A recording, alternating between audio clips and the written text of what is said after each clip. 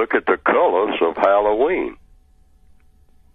Now that you mention it, see, pay attention to things. The colors that go with Halloween are usually what? Black and orange. Yes, sir. And what is Halloween about? Something grotesque, witches, something evil going on here. All right? Now, black and orange, when you think about it, in the modern days, associated, black has always been associated with something evil in the white supremacist culture.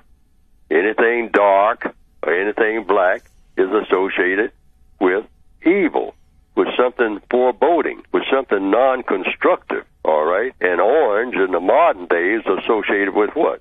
Prison uniforms. So, Hey. you know, so they, Yeah. the, the white supremacists would more or less say Halloween is really for you black people. Uh, yep. You know, you're black and you should be in an orange suit. I mean, 'cause Mm-hmm. that's what we got planned for you. We don't have any other plans. You're black, you're going into an orange suit. I can see you're going that. behind bars. Yeah. That's it. Yeah. Now, if you ask me something about, quote, celebrating Halloween, don't do it. Why?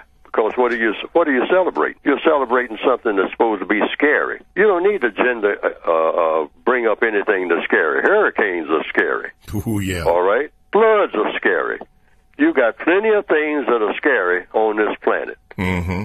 I mean, I used to kind of halfway like what you call scary movies. You go to a movie in order to get scared. No, no. Okay. I go. I look at a movie in order to learn something constructive.